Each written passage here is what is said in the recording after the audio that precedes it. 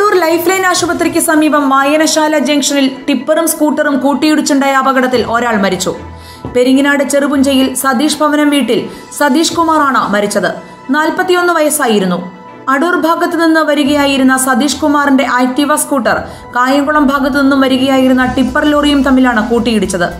വെള്ളിയാഴ്ച വൈകിട്ട് ഏഴരയോടെയാണ് സംഭവം.